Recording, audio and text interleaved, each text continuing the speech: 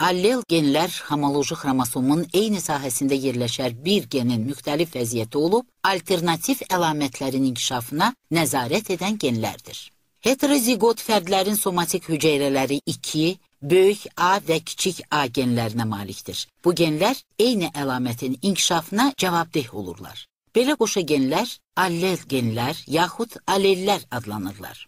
İstənilən diploid orqanizmin istər bitki olsun, istər heyvan və istərsə də insan olsun, onun hüceyrəsində istənilən genin iki alleli olur.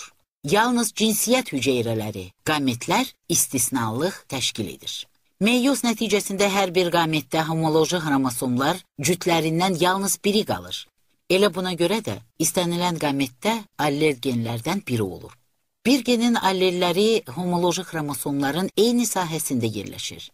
Skematik olaraq heterozigot fərd aşağıdakı kimi olur. Böyük A, kiçik A, homozigot fərdlər isə aşağıdakı kimi olur. Böyük A, böyük A, yaxud kiçik A, kiçik A, bunları böyük A, böyük A və ya kiçik A, kiçik A kimi yazmaq olar. Beləliklə, hər bir diploid orqanizm bir genin ikidən çox alelinə malik ola bilməz, lakin növ dairəsində alellərin sayı çox ola bilər. Bu halda alellər çoxluğu seriyasından bəhs edilir. Qeyri-tam dominantlıq Çarpazlaşmalar zamanı bütün hallarda heterozigot orqanizmlər fenotipə görə valideynə uyğun gəlmir. Heterozigot nəsillər aralıq fenotipə malik olursa, onda onu qeyri-tam dominantlıq adlandırırlar. Məsələn, ağ rəngli, gecə çiçəyi bitkisini çiçəkləri qırmızı rəngli olan bitki ilə çarpazlaşdırdıqda F1-in bütün hibridlərinin çiçəkləri çəhrayı rəngdə olur. Çəhrayı çiçəkləri olan hibrid bitkiləri, yəni F1-in özü özü ilə çarpaslaşdıran zaman F2-də parçalanma baş verir.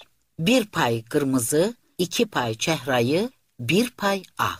Deməli, parçalanma 1-in 2-yə və 1-ə nisbətində baş verir. Qeyri-tam dominantlıq heç vaxt parçalanma qanununu inkar etmir. Lakin qeyri-tam dominantlıq zamanı hibrid nəsildə, yəni F2 fenotipə və genotipə görə parçalanmaya uyğun gəlir.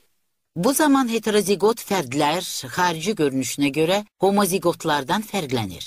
Genin qeyri-tam dominantlığı əlamətin aralıq formada üzə çıxması ilə şərtləşir ki, bu da təbiətdə geniş yayılmışdır. Məsələn, qırmızı rəngli və ağ rəngli tükü olan iri buynuzlu qara malı cütləşdirdikdə, onda hibridlər aralıq çal rəngli olacaqdır.